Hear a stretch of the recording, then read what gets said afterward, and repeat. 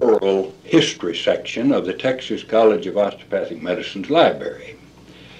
Uh, today I'm conducting an interview with Dr. Marion E. Coy, who is the founding president of the Texas College of Osteopathic Medicine and is now a professor in the Department of Osteopathic Philosophy, uh, Principles and Practice uh, here at TCOM.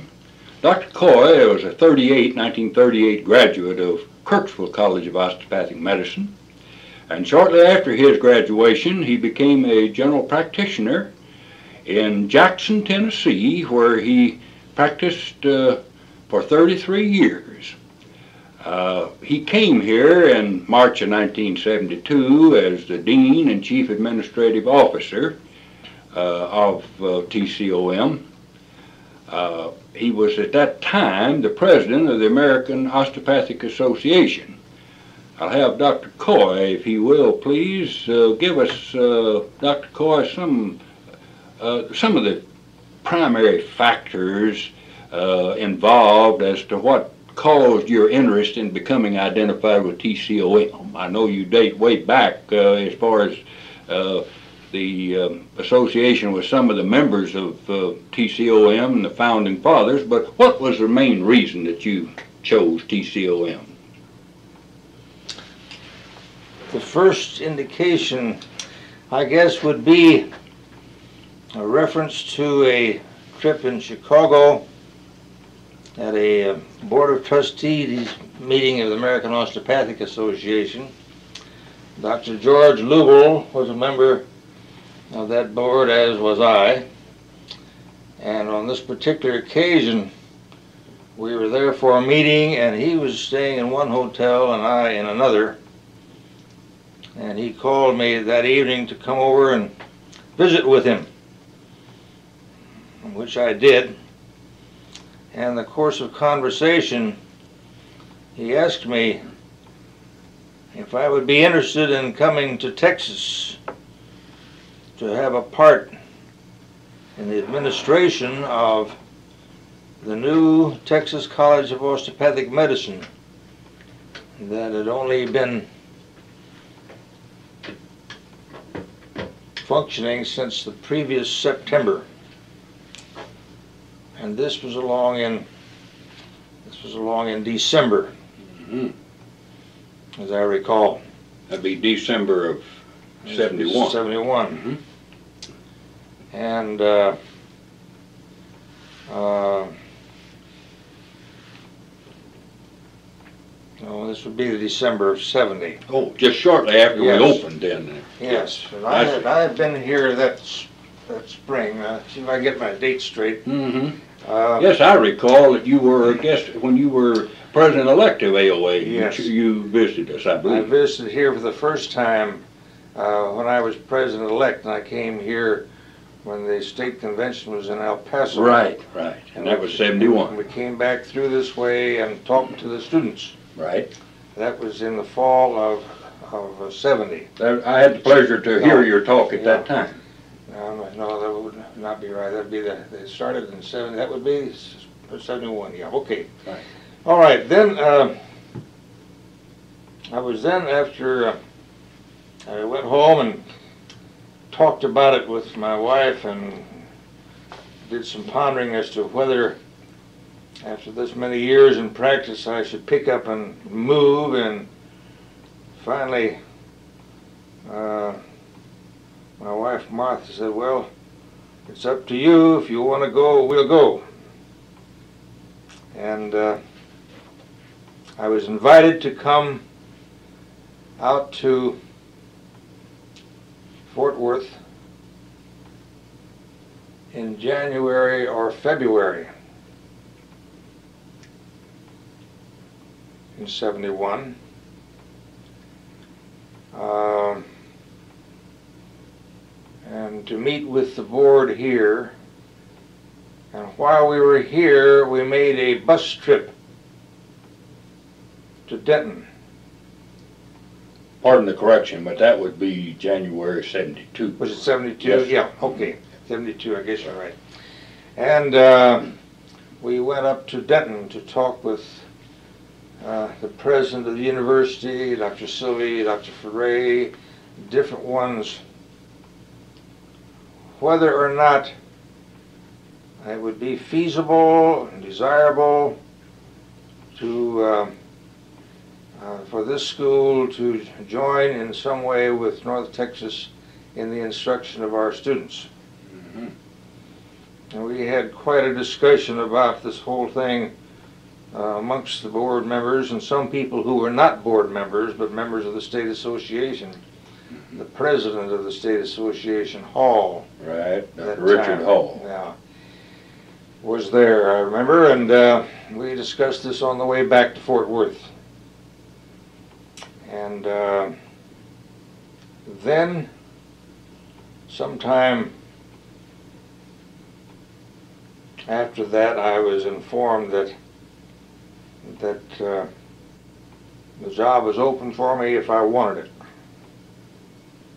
And we uh, talked some more about how we could do this because at this time I was uh, president of the American Osteopathic Association Mm-hmm.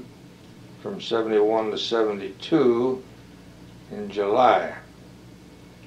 So since they needed someone to get started and take over, I then, in my traveling around as the AOA president, in place of going back to Jackson, Mm-hmm. I'd come here Right, I I recall in those trips. between trips.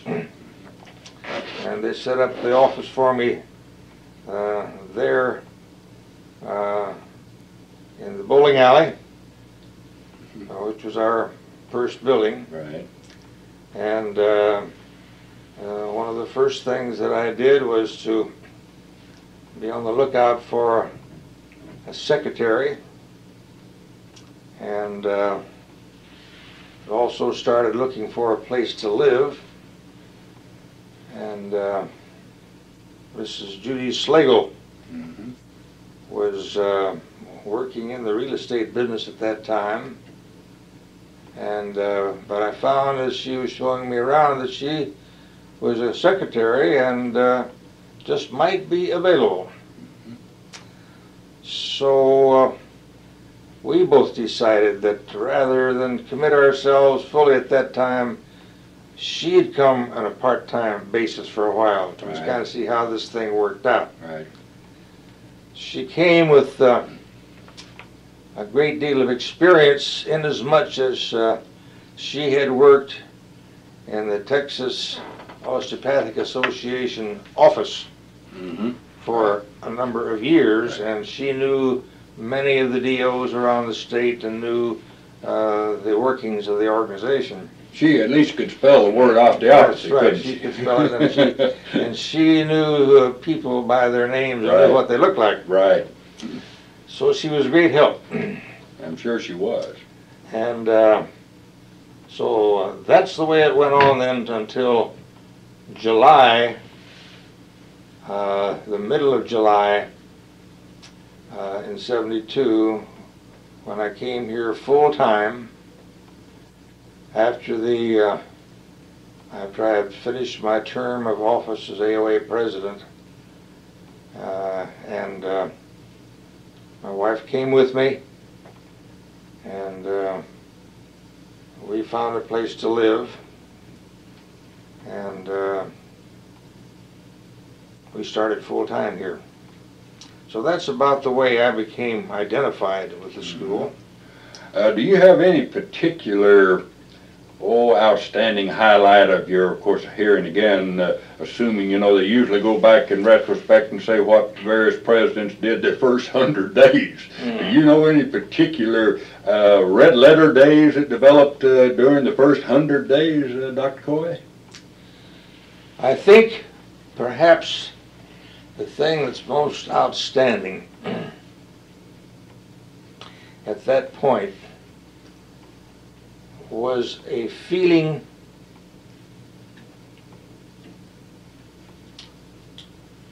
that I was compelled in my office to try to pull the whole state association together Mhm. behind TCOM.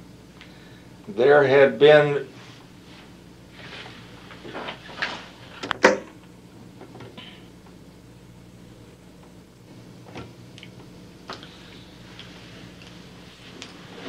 from the time the charter was granted to doctors uh, Luibel and Everett and Byers back in 66. Right. By, uh, 66. 66. Uh, and, and they're seeking a location. There became a divisiveness, uh, not with the intent, but because some people were rather determined that the school should be located one place, uh, over in Arlington, for example, and others wanted it close to the hospital here in Fort Worth. And uh, uh, there were some feelings hurt. As a result, there were some accusations made that were not true, and one thing led to another Mhm. until a year or so uh, before I came here, there was a real divisiveness in the state, and that there were really some very hard feelings and um threats of one kind or another, and some that they were they would simply they would destroy the school if possible. Right, right. Uh, I witnessed not one or two of those too. Hmm? I witnessed one or Yes. two of those myself. And uh, as a matter of fact, we had a, an- a man come down here who was um, AOA president after me, but came down here and and uh, took some sides with this thing, and without really knowing what he was doing, I think, and he took the the wrong sides and made it worse instead of better. Mhm. And uh, and uh, I, it didn't take long to become aware of those hard feelings. And uh, uh, through Dr. Dickey, uh, that fall after I first came here, and uh, Ray Stokes started getting some uh, little buttons for people to wear to show that they were behind uh, TCOM. And uh, we started uh, having an organization called Friends of TCOM. And about once a month, I think, for a period of, oh, I guess six months, Yes. Mhm. uh, they would meet uh, of an evening, have dinner together at the country club, usually out here at Rivercrest, and we'd invite all the people that w- wanted to come. Mainly, they were people from this district. Right. We would get some visitors from uh, nearby uh, districts that wanted to be friendly with our school. And we would discuss frankly, uh, they would ask me, what's going on at the school? What are you doing? Where are you going? And all of this sort of thing. Right. And uh, uh, we spent a great deal of time trying to uh, assure these people that we were going along the way they would want an osteopathic medical school to go, the way it was necessary for it to go if it was to be accredited by the American Osteopathic Association and the way it must go if it's going to be accredited by the Texas Board of Medical Examiners. Right. And uh, such little things as people coming up with the idea why that school is not even is not even accredited by their own state board of examiners and they didn't even know that no school could be accredited until it had graduated its first class so these were things we had to keep putting down i recall at the first state convention uh, I believe it was in Houston after I came here. 1973. And uh, uh, I went down there with the, well, some trepidation because I thought, well, I'm, you know, here's where we get put on the spot. And I was called in to talk before uh, the uh, um, House of Delegates and the board uh, of the State Association to tell them what we were doing hmm people would stop me in the lobby and the halls and well what's going on up there? You know and some people who have been friends of mine some who we've been in school together. And this they wanted to know what's the truth about all this? What's this i hear about so and so and I, I, I was continually mm-hmm. trying to straighten this thing out. Right. and I think we did a great deal towards doing that very thing at that state meeting. Because after that meeting, not only just by myself, but for some other people, I know, uh, for, for example, two, uh, two DOs uh, cornered another one who was mm, uh, being rather loud and uh, and saying things that weren't true, and where he got them, I don't know. But he was he was one of the persons who uh, seemed to indicate he'd rather see the school destroyed than go on, as long as he couldn't run it the way he wanted to. And they cornered him, and after they got through talking to him, he was very quiet. and uh, so it was just little things like this that was, I think, the probably the, the the most important thing of my beginnings here. Then, May I interject Yes. before we leave that particular subject, Dr. Coy? Uh, I think for, for the record, it should be noted that, and I think you'll concur, uh, that if it hadn't been for the leadership given by Dr. C.E., I believe that's Clifford Dickey, uh, as, as the chairman of these Friends of TCOM for a period better than a year, uh, well, I don't know, I, I wouldn't project or even try to prophesy what would have happened, but it would certainly have been much more difficult to accomplish what we did, uh, and we would have had more trouble doing it without them than we had with that organization. They did a- made a tremendous contribution. Do you concur?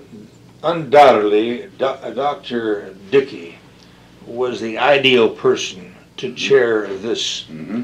this organization because, as far as I know, Cliff Dickey is a friend of everyone, Right. or everyone is a friend of his. Mm-hmm.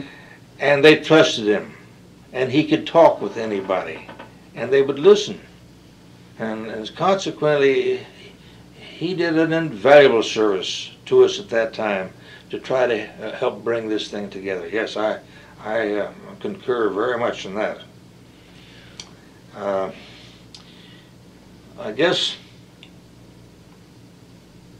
one of the other things uh, that we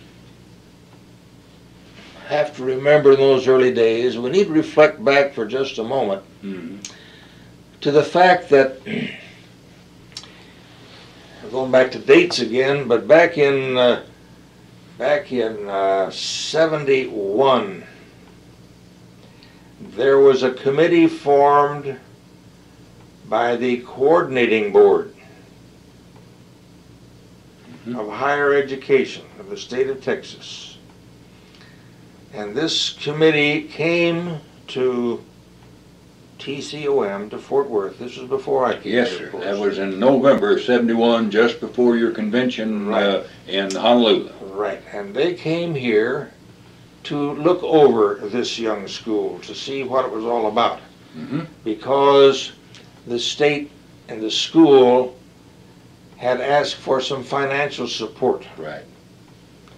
And they wanted to know what it was all about before they would give their approval for any funds. And uh, one of the persons on that committee was a member of the coordinating board, and he was a physician, and I can't I can't think of his name either, Dr. Coy, I Okay, should. Uh, but I- was The one who's identified with Scott and White? Yes. Yes, and I just can't say his name at the moment. I can't either. But he was the one that, according to the minutes that I have read, who said that the best way for this school to, to uh, grow and develop would be to work along with some established state school or Mhm. university. Right, Not necessarily, not necessarily a, uh, a state school. I mean, he didn't rule out Texas Christian University, for example, or Mhm. Southern Methodist, but he just said by the larger university that had established science courses already. right. And so this was one of the reasons why we did some feeling around and found that North Texas State University was really more receptive than any of the other schools, and that's why we started working with them. Right. Now, the first funding that the school got from, uh, uh, through the coordinating board from the state legislature was in seventy-two. Two. Well, it was voted in seventy-one, we Yeah. got it in early Seven- seventy-two. Early seventy-two, and it was fifty, Well, it was a hundred and fifty thousand. hundred and fifty thousand, that's And then, right. and in other words, it was three hundred thousand in two, uh, uh, two payments of one hundred and fifty each. Well, then, then we got, uh, yeah, uh, I thought- I thought the first was fifty, and then No, we the first was one hundred and fifty 150, and then we went to three fifty. Each time it got to be more. Yes, sir.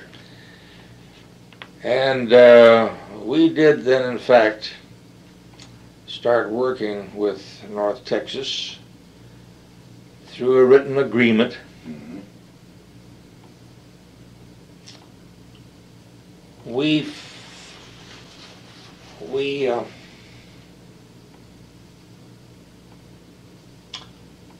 purchased the little building across the Clifton. Yes, uh, thirty-four forty, uh, which was the first piece of property that we owned. right. I believe that was bought prior to the actual purchase of the, what we call the bowling alley, the Yes, oh science yes. building. It was the first thing that we bought, Mhm. and uh, uh, we bought it from a man who was in uh, the used furniture business. Right, The building had originally uh, was originally built as a laundry and fur storage. Mhm. Then uh, that went out of business, and they uh, uh, it was a uh, car air air conditioning, conditioning, I uh, think. repair, I believe. Yeah, and then then this uh, used furniture, and uh, it was in pretty poor state of repair. Although the outside walls and the beams seemed to be, according to the architect uh, that we took over to examine it, seemed to be in pretty good repair and could be uh, could be built onto. Mhm. Uh, we we found the money for that through a gift from uh, Mr. Cox. No, the Mabee Foundation. Mabee Foundation. Yes. Mhm. I think it was seventy-five hundred dollars. No, no, it was one hundred thousand for that particular purchase. Oh, but not just for that building. No, sir. That's what we got from them at the time. Right, right. But the building itself. Oh, I'm, I beg your Yeah, pardon. the- You're right, That building itself at that time was, uh, I know I almost bought it for myself. You mean you purchased the building for Purchased the- seventy-eight thousand? Yeah, I follow that's you, right, we yes. purchased the building. Yes. Now, we had the building and then we, we had, uh, we had this grant from, uh, United States Department of uh, Education, which was called, well, it was a, um, a fund that they had startup money Mhm. for different schools and for medical schools, and they had given us so much money for Hello, that. senores, senors. Got anything? And, uh, uh, we had from them that year, I think, uh, uh, hundred and twenty, hundred and twenty-five thousand dollars. No, we had more money than that. I've forgotten now exactly what that funding was. But it was to be used for the hiring of faculty. Right. And uh, we tried to hire faculty. We found it very difficult. The money was there and it needed to be used. And uh, so we we set up plans to how we might improve this building over here and what it would cost to do it. And we talked with the people at HEW regarding this. Mr. Soden, the architect, and myself flew up to Washington on two different occasions, talked with the people there and with their architects, had their approval for using the money for this purpose rather than for uh, hiring faculty at that time. Right.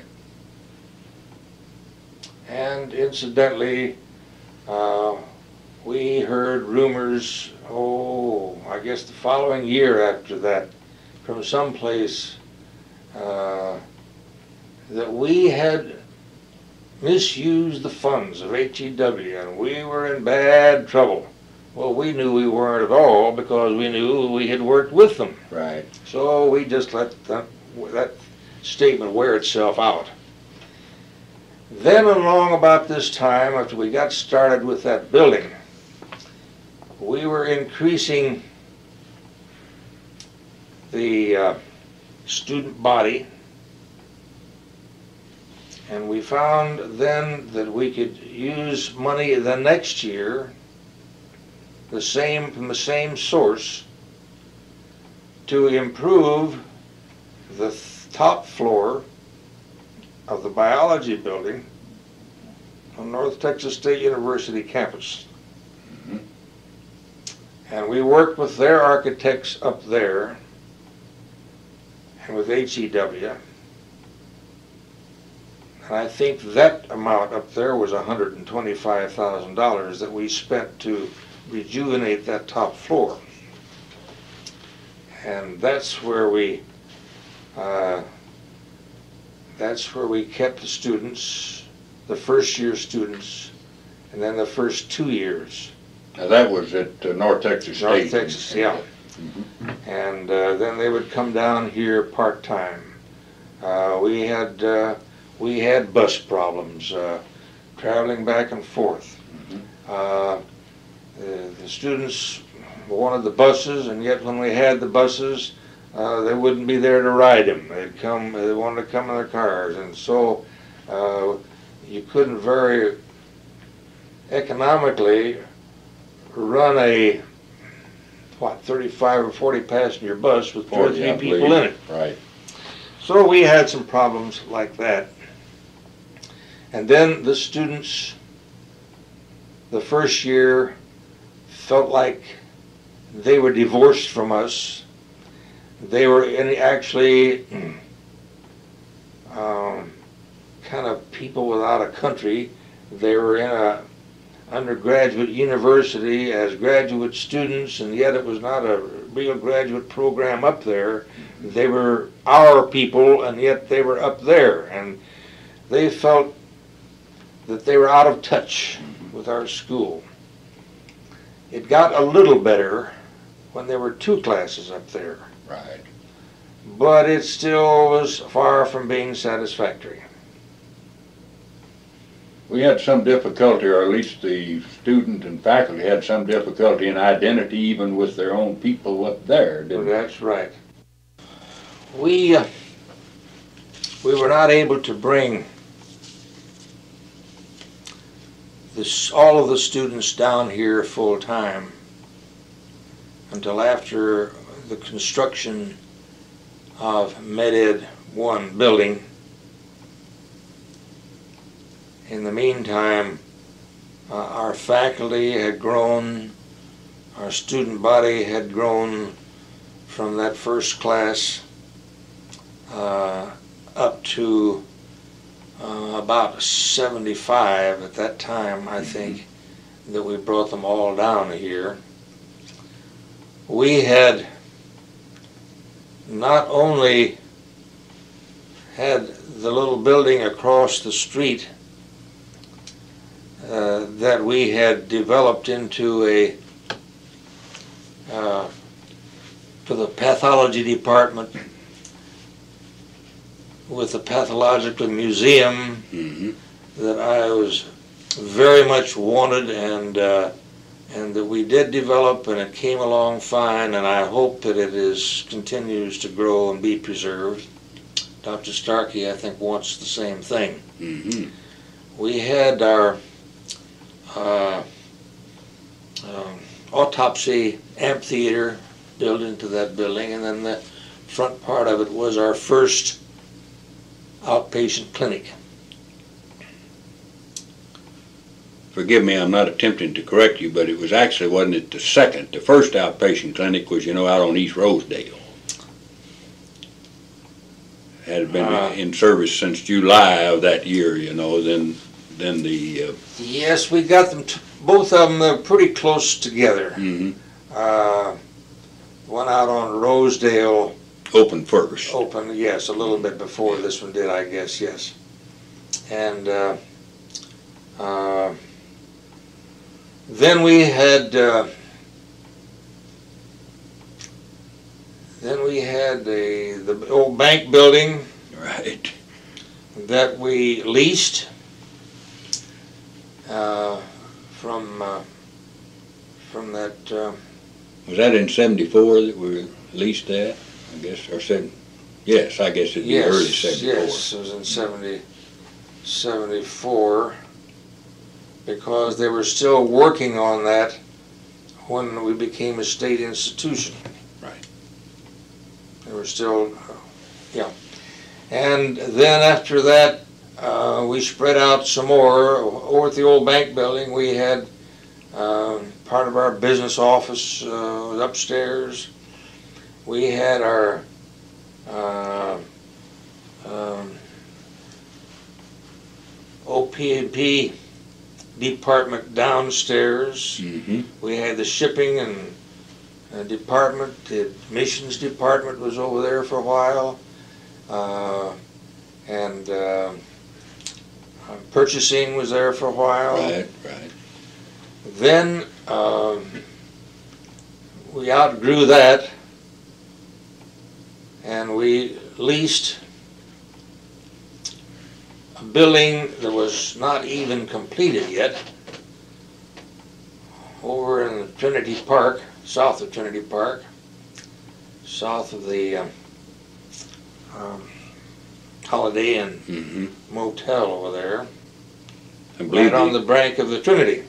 address, I believe, fifteen oh one Merrimack That's Circle. right, Mhm. and, uh, and we still have that. Right. And uh, I suppose that uh, when we get our next new building, we'll probably be able to pull in all of those ties and, and come in and have it all here. Uh, Speaking of property and moving around, I guess we should state that uh, the next thing would be clinics. We we very much wanted our students to have outpatient clinic experience. And so we had the first clinic over in a very poor section of town out on East Rosedale. Mm-hmm. And then the next one was what was called, some called Central Clinic. Uh, I think was a term that finally stuck with it. I was hoping we could call it Camp Bowie Clinic, but it, uh, Right. Conflicted with another clinic I believe. And then we, uh, we had uh, clinic out on the north side of town. We worked out with the city. Um, the one, the first one that was out of town was the one up at Justin. Mhm. It's now been uh, been going now for about five years, I believe, yeah, it was September of, or October of seventy-six, I believe, when they something like opened. that. Mhm.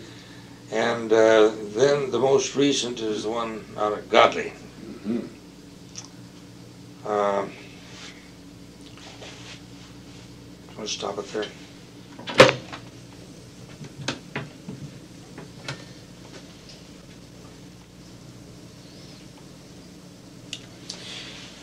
In order to kind of tie in our time and progression of events, might go back to uh, uh, about December 1972 when the Executive Committee of the American Osteopathic Association called Dr. Luibel and I up to Chicago to talk about how we were getting along with the school here. And they were still concerned about the transformation, how things were smoothing out and all. And Mhm. at that point, they recommended very forcefully that that there should be a president and not just a dean, and that we should uh, uh, get on with that. Mhm. So when we came home, George took it up with the board, and I believe it was on right after Christmas, the next meeting.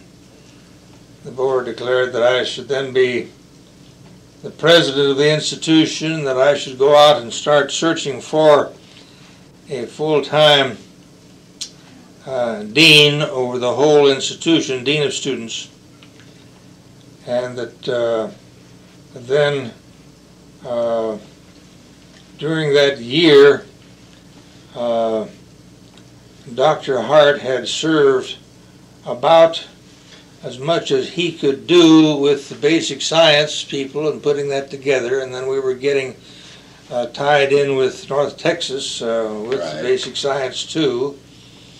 And so in the following year, uh, following spring, at the end of that year, uh, Dr. Hart was terminated, retired, and uh, uh, at this point I had to find another dean overall, and I found Dr.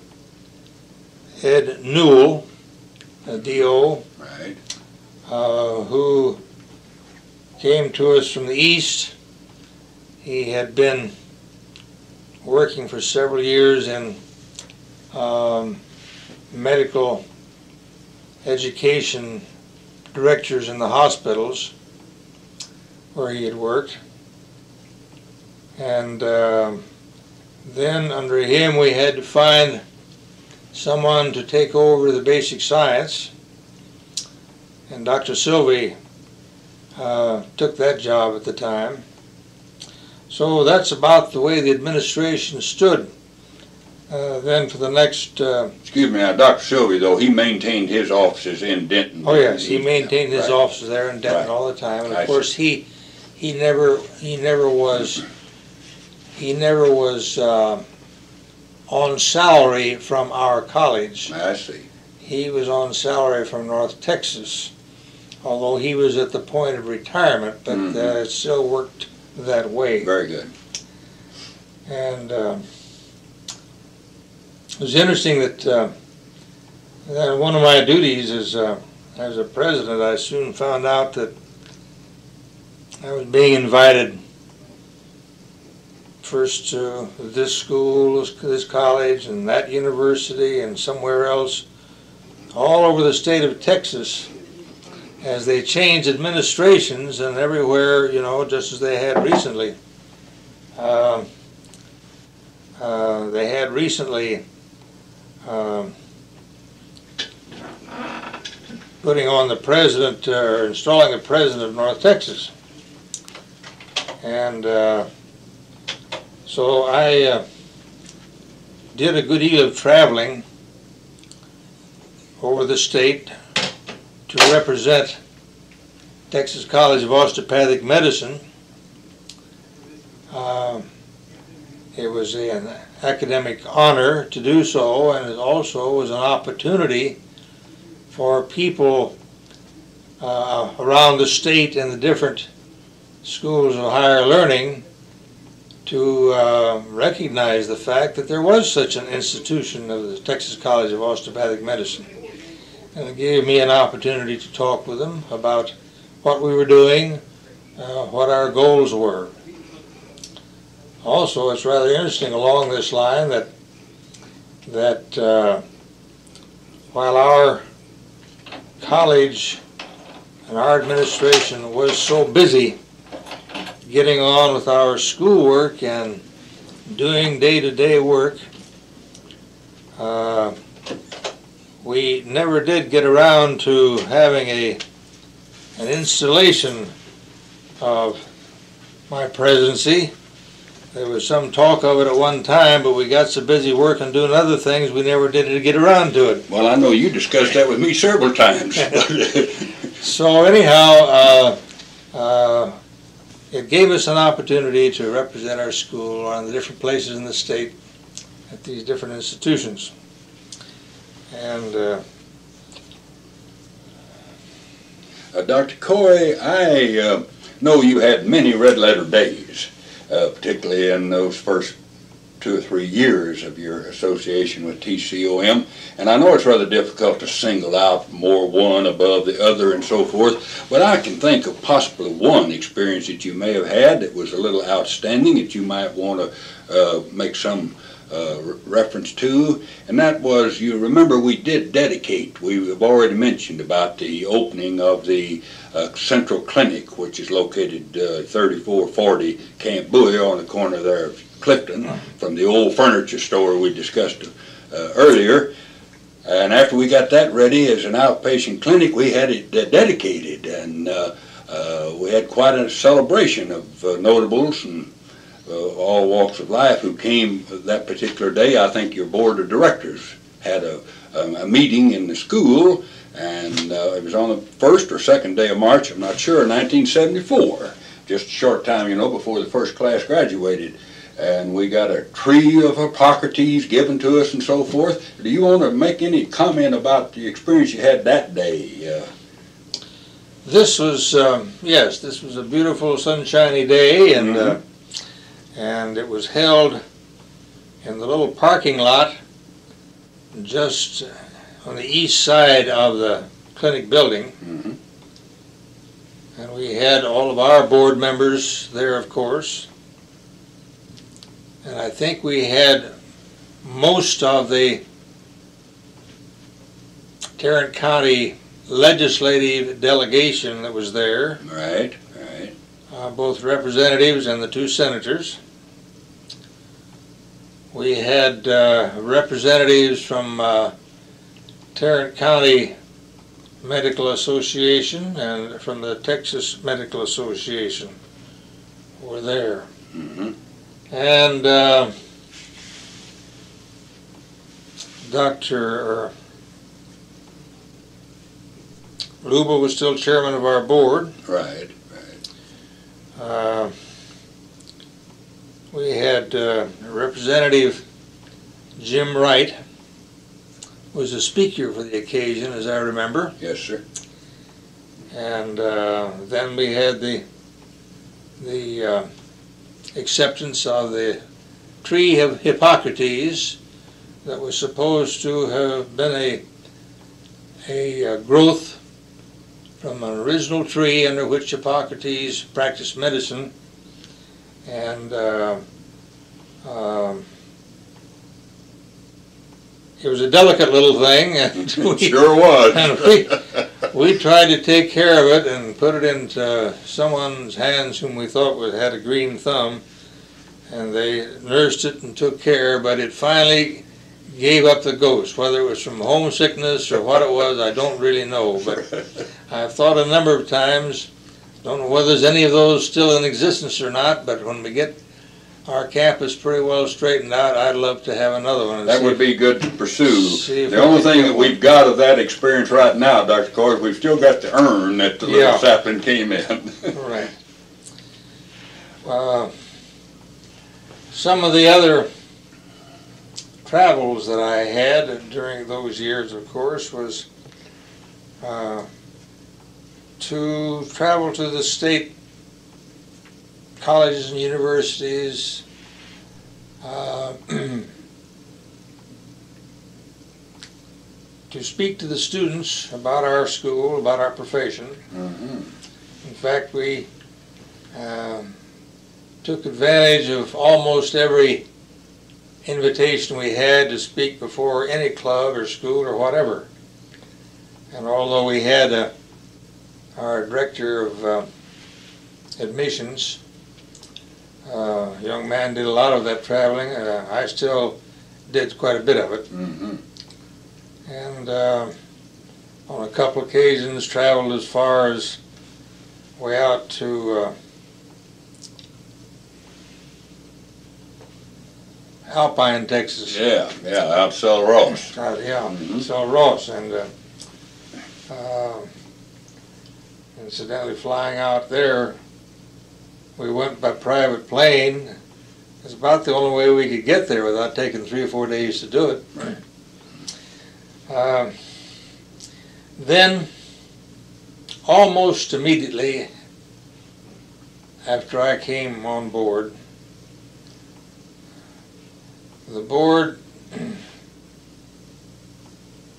members of the board that were around here, members of the hospital and the District Two people, uh, said we were not only trying to pool together the members of our profession, working together, which we succeeded in doing, but also along with that, we felt the need that we should become acquainted with our state legislative people, and also to meet as many legislators from other parts of the state as we could.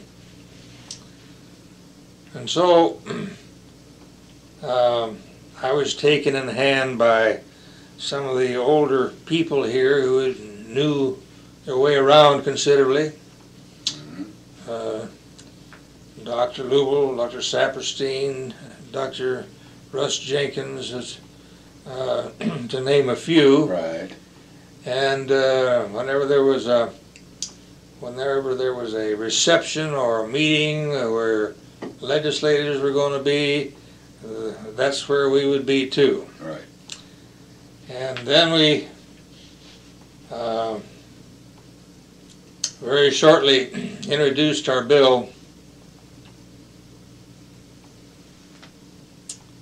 through our Tarrant County legislative people to uh, make our school a state-supported institution. As we've said before, we owned very little real property at that point, but we were still working on it. Excuse me, that'd be about January 1975, wouldn't it? Long No, it was before then. Before then? Yes, because we worked, we worked on, you see, it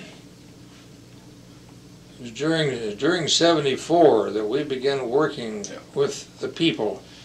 And I started attending every meeting of the uh, uh, Coordinating Board of Higher Education Right. to get acquainted with those people.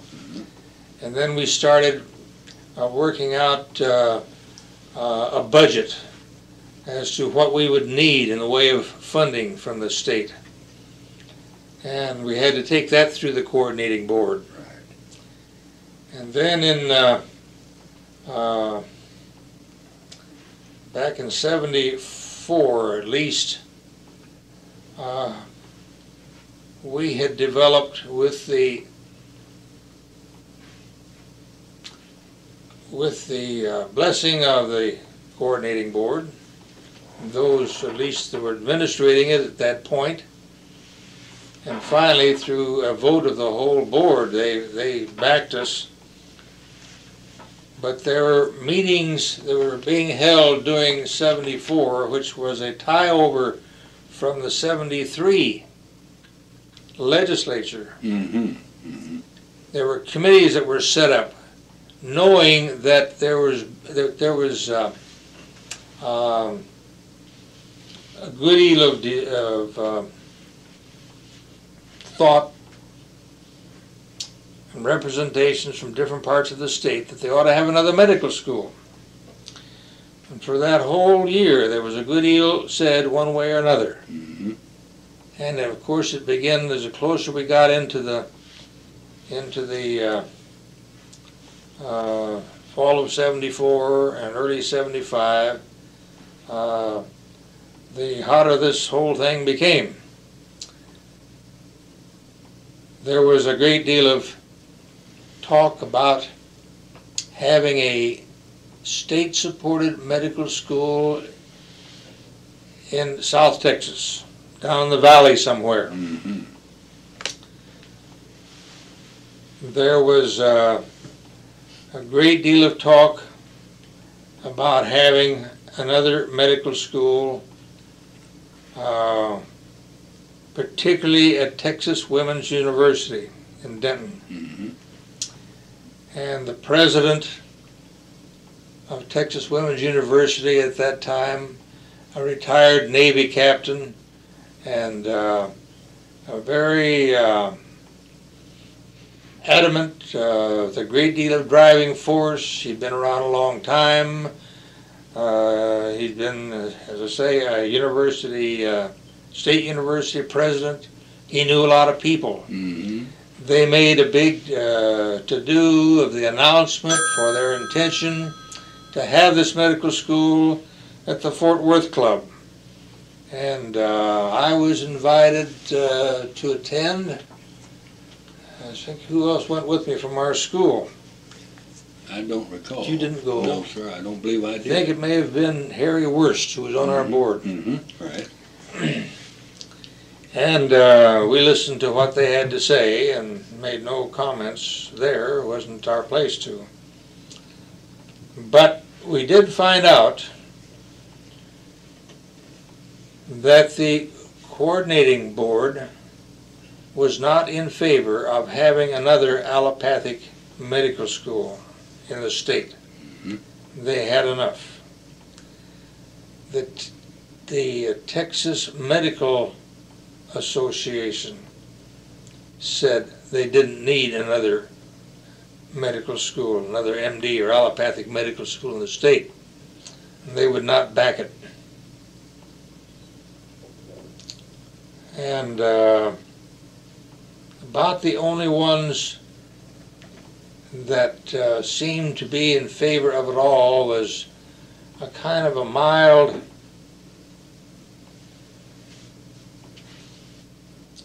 agreement or showing some desire on the part of the Tarrant County Medical Association. Mainly the reason because here in Fort Worth is where that medical school would be Right. if they set it up. Now this, uh, uh, I can't think of this president's name. He's died Yes, he sometime has. after that. He was there a good many, Guinn, uh, Guinn, I believe, Dr. I believe that's right. Guinn. Yes, Yeah, that was yeah, okay. Dr. Guinn. But he, uh, he was determined, make no difference what anybody said, he was gonna have his medical school. And I was in attendance at the, at the meeting of the coordinating board when he presented it and the people that he had brought in from different parts of the country. And one of the things that he was gonna do was to have a medical school. He's gonna take in a lot of women. And uh, he was going to keep the. Uh, he had a lot to say about the academic requirements. He was going to lower the bars considerably from what he intimated Hmm. towards entrance requirements. And then he was going to have a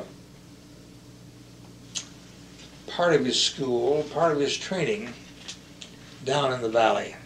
Yeah. And he hoped to get a lot of students from the valley, and send them back down there to practice. Well, we met before this committee of the legislature on two of the occasions. And we had representatives from uh, North Texas State University who would go down and meet with, uh, when I say us, I mean people from this school who represented this profession, like uh, uh, Dr. Luibel, Dr. Boyd, Mm-hmm. Uh, Dr. Bobby uh, Jean Smith, Right. and uh, myself.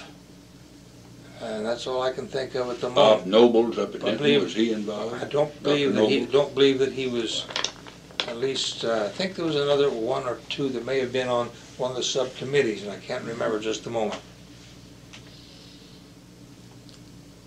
As a result, the written report and recommendations of this committee backed up what the uh, legislature had intimated and what the uh, uh, coordinating board had said, Mm-hmm. and they did not recommend another allopathic medical school be formed. No new medical schools is the way they put it. Right.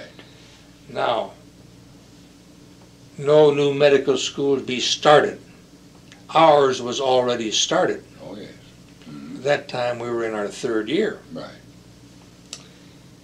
And so they did recommend, part of the report was, that including all of the medical schools then in existence and graduating physicians, and to include the, the oncoming Texas College of Osteopathic Medicine, which would very shortly be graduating physicians, Right. that in another 10 to 15 years, there would be adequate physicians for the state of Texas.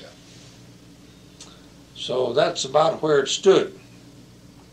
And that was the, that was the way the report went back to the legislature. When the legislature opened in, in January, That would be seventy-five, wouldn't it? that would be 75. Right. We were there, the bills were introduced. We had a hearing before uh, committee of the representatives. By the time they got around to, and they listened that one particular night to the representatives from Texas Women's University, that went on went on went on. Then they had a kind of a Well, a very vocal report showing a desire, but really no, no formal request. There wasn't any such bill to that effect from South Texas, from the mm-hmm. valley. Yeah. And that was, that was presented by one of the legislators himself. Forgotten now who it was. It wasn't Babe Schwartz, but it was, uh, That was Willis here, from here, wasn't it? no, well, yeah, Willis was on the committee. Yeah, Willis was in favor of that particular bill. Yeah, he was in favor of that more than he was in favor of us. Yeah, Doyle Willis, He never gave us hardly the time of day. right. And uh, then we had a meeting before uh, committee of the Senate. And I can remember that in each of these meetings, that the now Speaker of the House, Clayton, would be there. Mm-hmm. And he was very much for us in this thing. We went to see early, uh, we went out to see Senator Meier, That's our senator here from this district, Senator M-E-I-R, Meier from, uh, from, uh, Euless, I guess, or from Tarrant yeah, County. Of Yeah. Tarrant County. Right. Went out to his office. And Dr. Meier, or Senator Meier, uh, would not give us a great deal of confidence in his support. He seemed to be kind of riding the fence, and I think it was because politically he wasn't real sure where he ought to stand at that point. He didn't tell us no, but he didn't tell us yes either. the one person who really took hold, two persons who did, who really took hold and got behind us and said, we're with you all the way. One was Representative Gib Lewis, Right. and he's been there and been our friend all the way through. And the other one was Senator Betty Andujar. And they're the two, one that carried this, the bill in the House, the other one carried it in the Senate. And uh, whenever, on to the occasions, whenever they asked for us to be down there, to be ready to, to speak, uh, to represent the school at a meeting or anything, we were always there. And uh, finally, we had done about all we could in the way of of uh, speaking to these different people.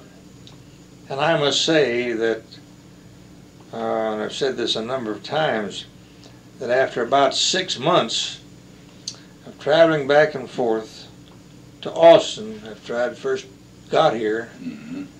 that I knew more state legislators in the state of Texas than I knew in the state of Tennessee after 33 years of practice because it was my job. Right. Well, Uh, anyhow, um, those were some pretty nervous days from there on, from about, oh, from March then on, waiting to see uh, whether they were going to let it out of committee, or whether they were going to, you know, put it before the whole House or before the whole Senate. And uh, then what they were going to do with uh, with uh, particularly at that point, it got to be between ours and and Texas Women's University was still in there plugging with theirs. But we got out of committees, and they didn't. They never made it past the committee of the, mm, I've forgotten now, which one. They got through one committee, but they didn't get through the other. And uh, then, about every,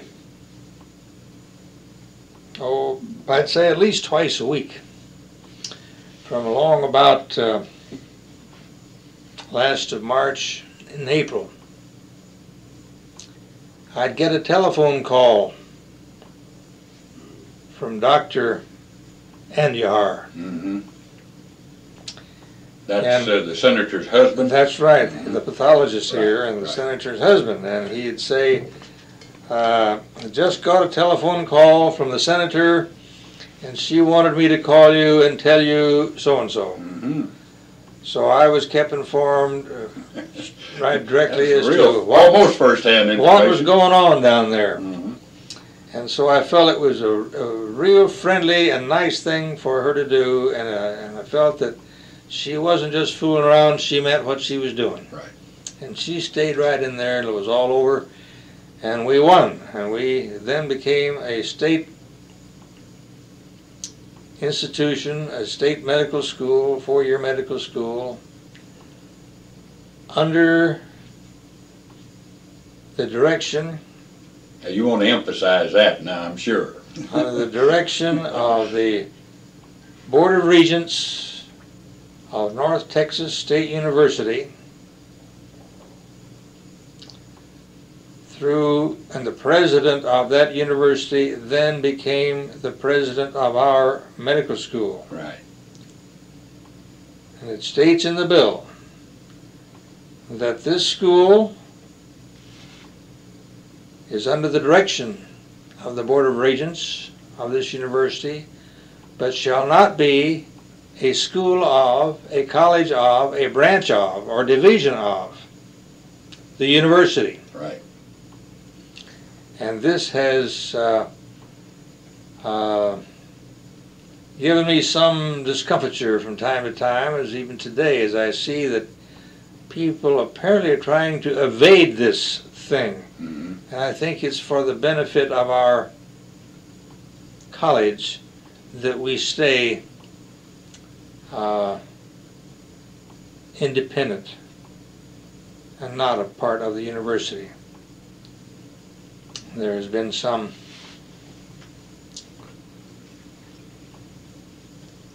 there's been some uh, brushes that we've had with some of the members of the administration of that school that we didn't always come off on the best side, I've thought. And I've thought that the university, some of the people at the university, wanted to take advantage of us, and particularly some of our financial resources. Mhm. I think it's been quite evident in some respects. For example, the faculties of North Texas, the chemistry and biology departments who did part-time teaching to begin with, mm-hmm. or TCOM, soon discovered as we were going about trying to hire faculty of our own in the basic sciences, Right. they soon found out that a DO coming into this school to teach made far better salary than a PhD teaching the same subject. Consequently, there's been several who decided they'd just go get a DO degree. Right. And uh, it's all right. Uh, uh, I, I would have certainly been, from the very beginning, have been very much for every faculty member, every, particularly every PhD who comes aboard, to be indoctrinated to know what osteopathic medicine is all about, to know why he's teaching here, Mhm. and what it is he ought to be teaching. Right.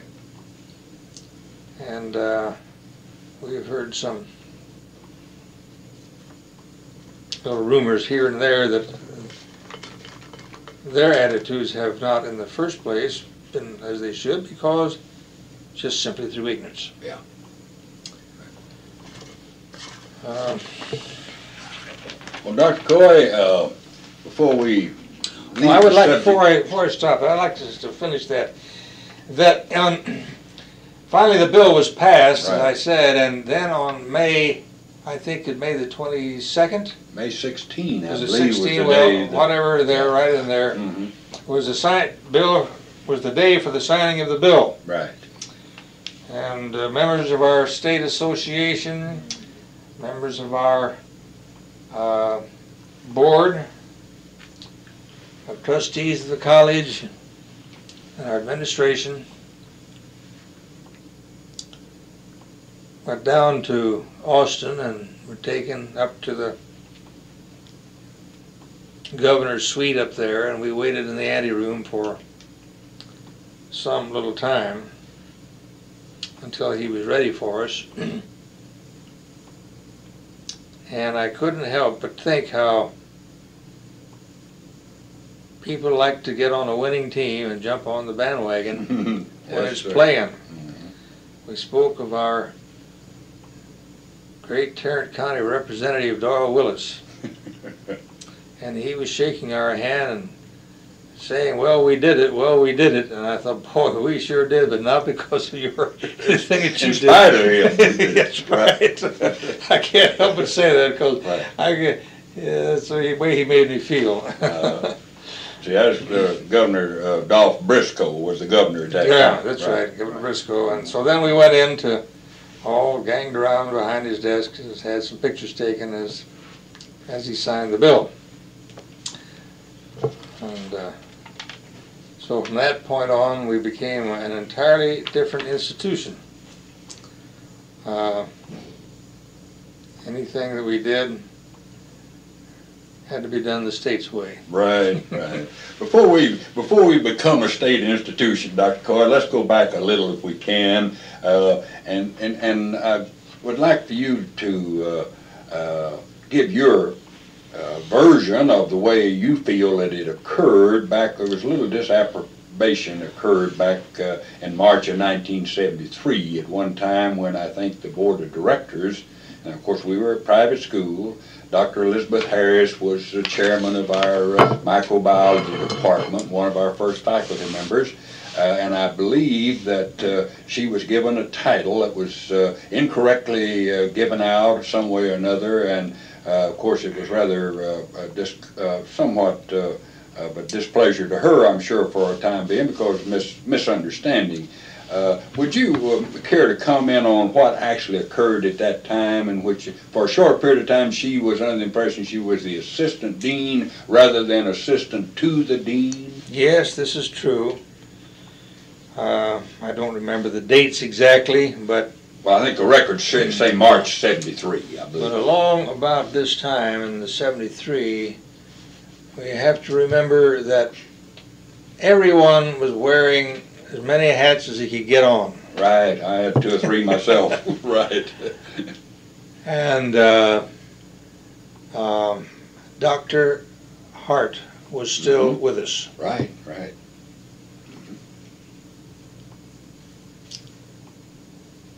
And uh, he needed help, he needed some assistance. And uh, we, at that point, were not able to go, to go out and hire another assistant dean. Um, and the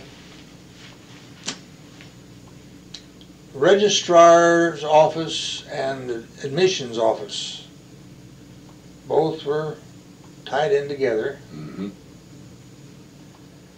and they worked very closely with the dean and the dean's office. Right. Dr. Harris was one of those who wore several hats and did it very well. Mhm. And she had been doing quite a bit in admissions. Um, because she had been here from the very beginning. Because she was basic scientist.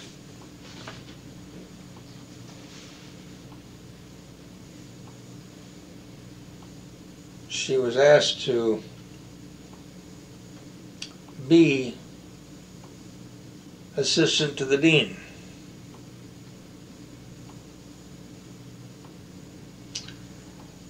Noth- Nothing, um, this was all very well and good, and nothing really was said much about this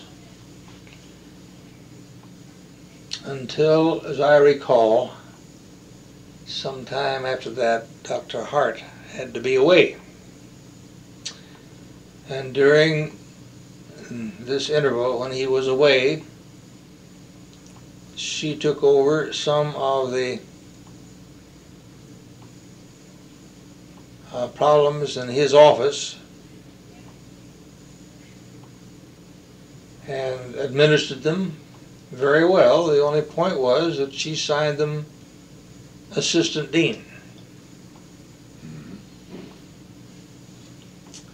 And it was a little discommoding to her, and I think we ruffled her feathers a little bit when we told her, no, that's not right.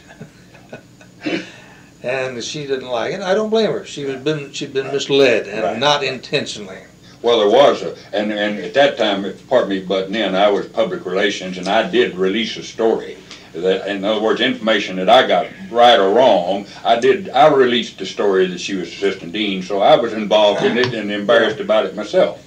Yeah, and uh, of course, being the kind of a person that she is, she uh, she just swallowed a couple of times very shortly after that. You Very never good. know, they never never That's right, mentioned. that's She right. went right on with her work, and that's all there was to it. Yeah.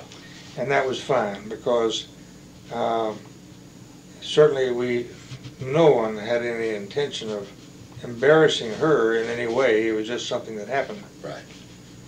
And uh, uh, I did not have the authority from the board to make her assistant dean.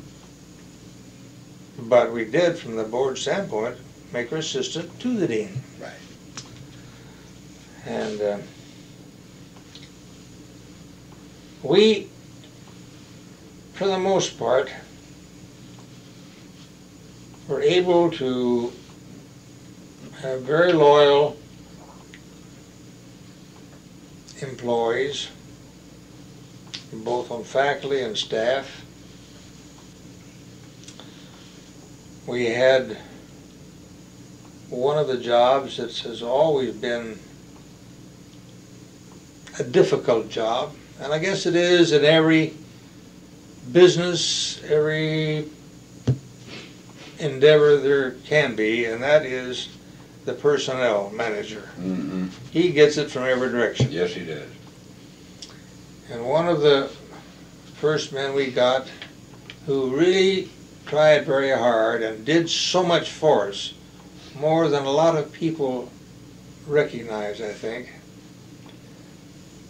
And that was uh, DeKeefer, Mm-hmm. Eugene? Eugene DeKeefer. And he had been a banker, but more than that, he was a Navy captain, retired. I recall that. And it was something besides somewhat of his German background, but being a from the military, it was ground into him pretty good. Mhm. And Yeah, he- very GI in some respects. that's right, and he couldn't quite get over it. He'd been, a few years before that, he'd been a banker. Mhm. But he wanted people, you know, when he wanted people to jump and get along with it. Yeah. Which was good, uh, in a way. Uh, and if it's military, excellent. He could have done it.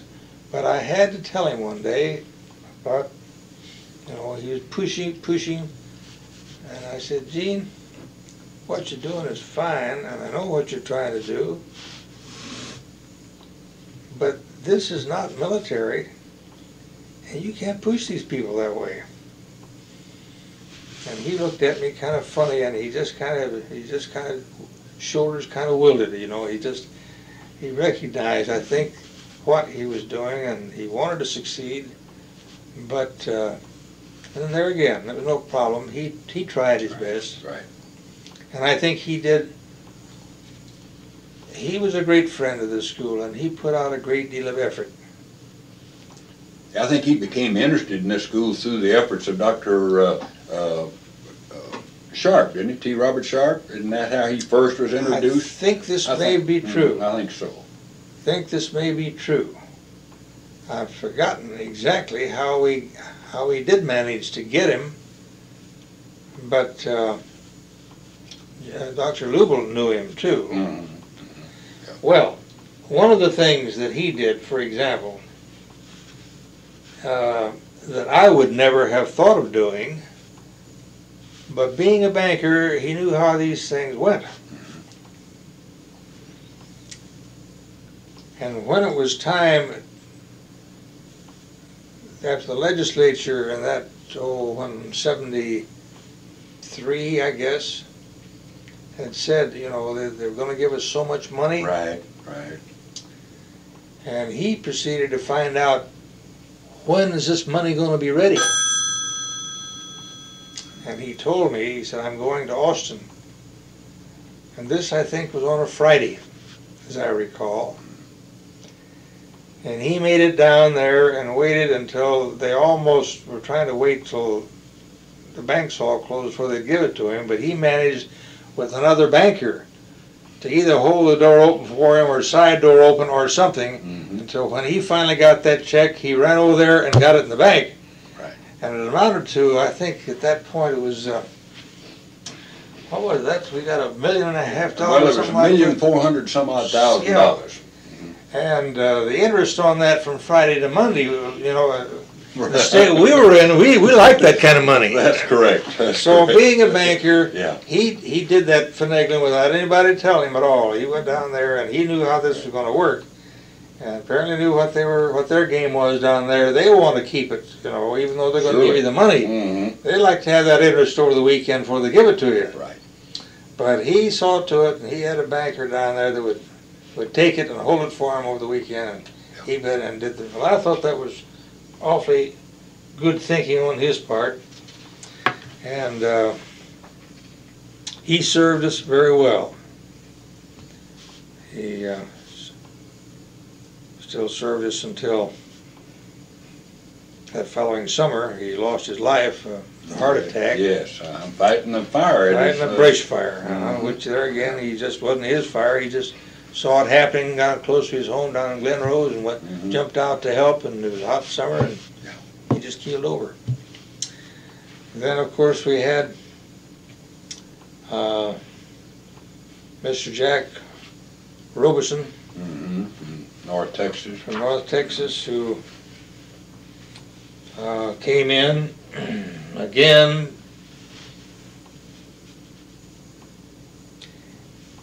He wore several hats while he was here, Right. and he did a great deal for this school because he certainly he certainly had a a brain for figures. Mhm. Yes, he did. And uh, he was the one that worked up our budgets to present for the legislature. When we got ready to build our budget for establishing this as a state school, he was right in the middle of it. We depended on, on him for to come up with it, department by department, and he did it. Yeah, well, and didn't we, about a year, even before we became state, we, uh, in, before the transgression, uh, he changed over to sort of a state, uh, budgetary system in, in, uh, the business office to make it a little easier for us when we did, uh, become a state He was, he was here at least a year before that, and Mhm. And uh, he was trying to work us into uh, the kind of uh, accounting that would be acceptable. And uh, I don't think there's anything wrong with what we were doing. We were just doing it a little different was all because we certainly never got into any problems, no, No, trouble no, no, it just made it easier Yeah. for us to- in the transition period. We already were doing pretty much the way the state was operating. And then for a while, he took over as personnel, and he didn't like that job very much either Mhm. because he's he could soon see that he was he was nobody's friend being personal, and he didn't like it very well. But he Mhm. stayed with it for a while. Right. He'd come to me with some of the problems that clashes he'd had with individuals, but we managed to get them all straightened out. I think without anybody getting hurt. Uh, there have only been, I guess there were only two or three people during that whole period that we had to, that we really had to get rid of. Mhm. And uh, um, so I think we had, from the very beginning, we had real dedicated people, and it's nice to know that some of those people have managed to stay on, and they're, they're still here, Right. still around. Well, Dr. Coy, uh, during that same period of time, of course, TCOM was becoming more visible, uh, and we were uh, becoming better acquainted with the Fort Worth and Tarrant County community uh, during that first period of uh, starting off from about 74 on up into the time uh, we actually became a state institution. I know the TCOM did make quite a contribution. Can you think of anything in particular, of any experiences you had with any of the city fathers or, or the professional city uh, people who uh, uh, were impressed with the contribution that we were trying to make, or actually making, not necessarily trying?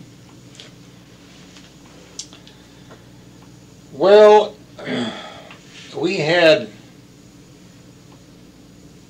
we had some real problems to overcome because not only here, but maybe I should say here, like almost everywhere else, the osteopathic medical branch of the healing arts was not known as well as the allopathic branch. Right.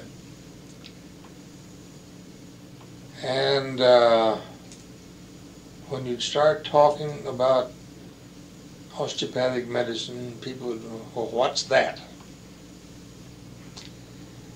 And they've always confused it with chiropractic Mm-hmm. and with being something less than first class.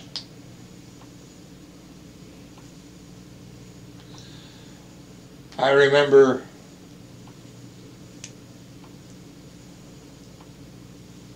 being invited, having had a lunch set up by Ray Stokes with the editor of Star Telegram. Mm-hmm. Mr. Jack Butler at the time. And we had lunch at the Fort Worth Club. Right.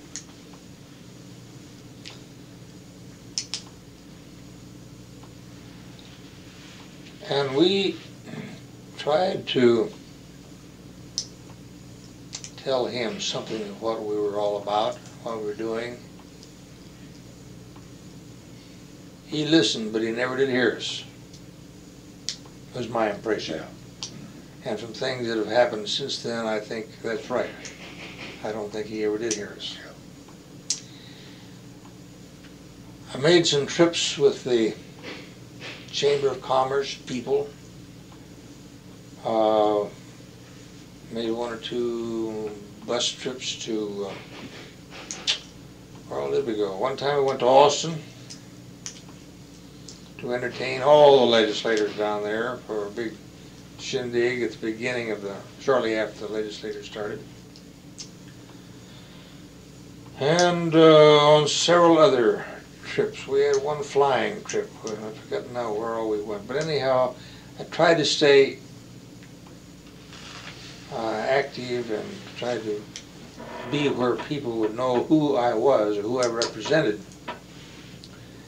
And uh, I found that as we talked to people, and they, if we could get them to asking questions, that we we could make pretty good friends with them, and they would be sympathetic to what we were trying to do. The people at the office, the Chamber of Commerce office, were very friendly, very sympathetic, and have uh, remembered, even today when I see them, uh, what we're trying to represent. We had several meetings we were called to where people from different walks of life, industry, education, religion, and all other things or representatives would meet together for lunches and discuss what was good for Fort Worth. And uh, we had good uh, relationship with those people.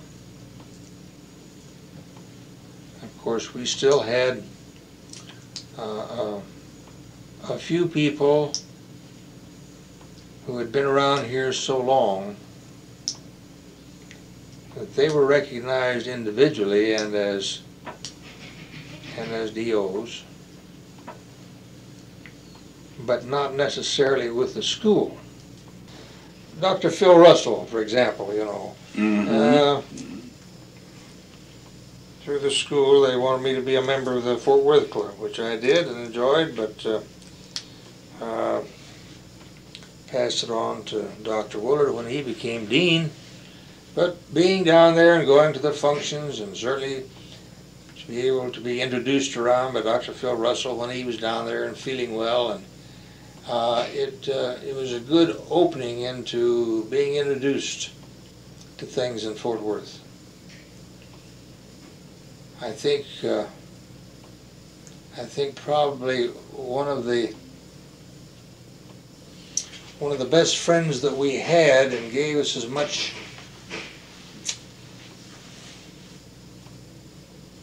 mm, much backing uh, as almost anyone I guess around was Dr. Felix Gotz, Yes, that's right, absolutely. Who We lost was- a tremendous friend when he passed away. who was uh, Polish, of course, and uh, uh, raised a wonderful family of musicians, a great musician, entertainer, medical examiner. If I may interrupt, he, he made one or two of our banquets for us, didn't he, with He his program that he He put on? certainly did. Something, uh, He something by did. Gotz, Yeah. quotes by Gotz. And uh, he, uh, I didn't have anything to do with his, his first hiring. He came on board with some other pathologists that were working with him to teach the first class. Well, then when we bought the building across the street and wanted to put in an autopsy amphitheater in there, I talked with him and he was so excited about it. And he told I said, I want you to tell me what it is that you want and let's see what how we can see what we can come up with. Well he said, Well I'll show you and he started outlining the things that we needed. Now he said, We don't need one of these big expensive you know, autopsy uh, surgical tables, was- this kind of table will do and all this kind of stuff. Well, we got what he asked for and he said, I'll be happy to do this. I'll move my office over this way, and I'll guarantee you that uh, the students will get good autopsies, and they won't all be accident cases either, or, sh- or shotgun cases. And uh, and uh, I think that from what I've heard from students while he was teaching, that they were all intrigued by his teaching too, because uh, uh, he could just sit down and start talking, you know, about any condition that was there, you know, and and then uh, besides that, as you have said, he was on the program for our first uh, graduating class, senior class banquet, Mhm. and uh, I didn't know what he was going to do. I hadn't heard him before. Mhm. But he, when I asked him uh, what we should put on the program, he just says, he handed a little slip of paper on it, it was in, in quotations. Mhm. Quotes from goats. And he played the piano, he played the guitar, and he had everybody in stitches. Didn't he also play the accordion? Uh, accordion is what I meant, yeah. Right. The piano and Right. the, and the, and the accordion. Right. And then, uh, uh, two or three years later, I guess the year before he died, Had him again, I believe. he had him again with his children. Right. And they did piano solos, duets, quartets, and whatever. Well, Dr. Coy, uh, I certainly appreciate having the opportunity to visit with you and getting your reflections on some of the things that uh, that uh, have been foremost in uh, throughout the development of TCOM, and the input and the influence that you've had in making it come true. Uh, and I know that you forecast a good future for the school, and I know that you feel that TCOM will play uh, a very important role in uh, the medical science and the healing arts, not only of this community, but the state as well. Uh, do you, uh, and I realize that you're uh, now, and not, uh, you're in part-time retirement, I guess is the way I should say it. You're going to work here all the time, by part of the time. You still have a very strong interest in it, and uh, I do know that you want to continue as long as you can. And you have made a great contribution to this school, which uh, uh, I know everyone involved will be, that's not now aware of it, will be grateful in the future. Can you give us any kind of a, just a, a thumbnail recap uh, forecast for the future of TCOM that we might, uh, uh, in the annals of time, read back and say, well, Dr. Coy knew what he was talking about? Well, I was never been very good at crystal balls, I don't think. but I I think I see some trends that uh, I think as a profession we should be aware of. We came in to existence in this state, I suspect at the most opportune time that we possibly could have. In spite of the um, conflict that we had in the beginning and with the competition that we had in becoming a state institution, I believe it was the only time that it could ever have happened. I don't think it could have happened 10 years before that, or even before that. I don't believe it could have happened till after, in all deference to Baylor Medical School. They had an experience that in some help, some way helped Right. us. Right. And it couldn't happen now. No, you're right.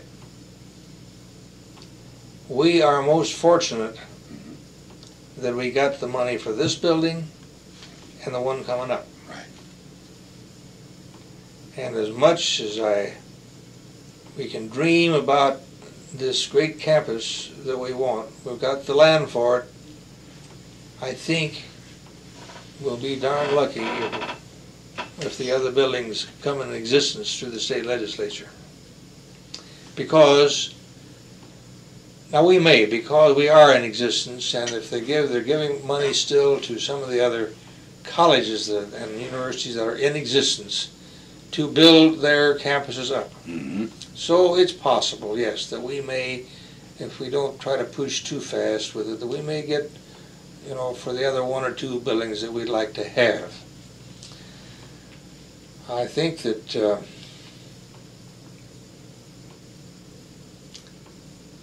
I think that the future of our profession in this state ought to be great. As we anticipated, more and more DOs are starting to practice in this state. Yeah, I believe there are better than a thousand members of the uh, Texas Osteopathic Medical Association now. And that's happened just in the last three or four years. Yes, sir. Yes, sir. And uh, uh, more and more DOs are going to be in Tarrant County, Tarrant and Dallas County and, and the immediate environs. Uh,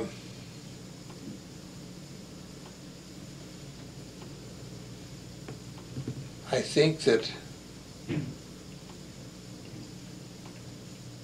one of the most important things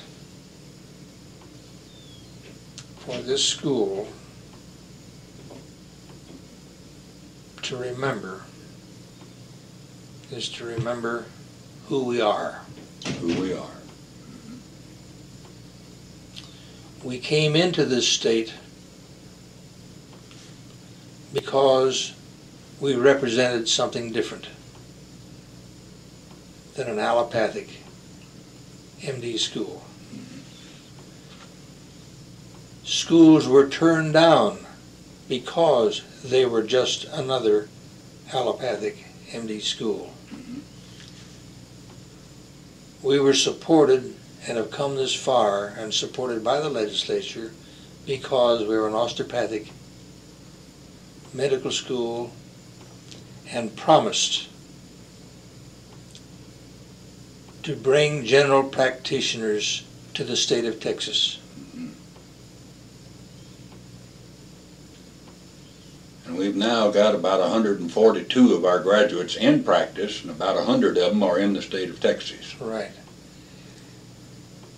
And if we aren't careful about how we go on, we may miss the road. Mm-hmm. And if we end up as just another, just another medical school, then we will have we will have missed our birthright, forfeited our birthright. We will have missed the reason for our existence. And it will be a great disappointment to the people of Texas.